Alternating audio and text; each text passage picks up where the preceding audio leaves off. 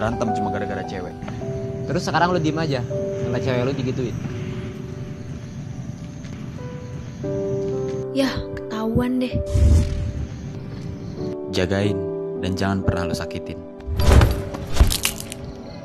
Woi Aceng! Kenapa lu diemin? Sedangkan Tuhan menciptakan dua tangan buat baku hantam. Karena pria sejati tahu kapan harus berkelahi.